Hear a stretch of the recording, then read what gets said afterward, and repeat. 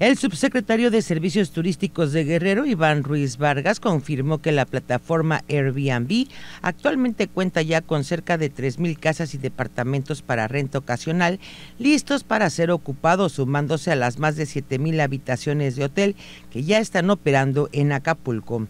Importante que Acapulco ya está ofertando un hospedaje suficiente para este tipo de eventos. El funcionario estatal indicó que con estos números se tiene garantizado el hospedaje para los asistentes a la Semana Santa, Tianguis Turístico y otros eventos que están a la vuelta de la esquina.